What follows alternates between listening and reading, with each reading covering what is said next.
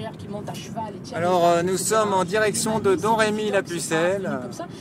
Don Rémy, c'est le village de. Jeanne d'Arc. Et nous fêtons aujourd'hui les aux 600 amis, ans de- Sa naissance.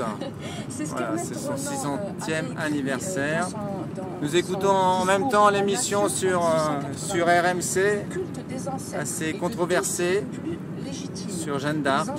Ancêtres nous ont fait ce Certains la défendent, d'autres pas. Écoutons. héroïque.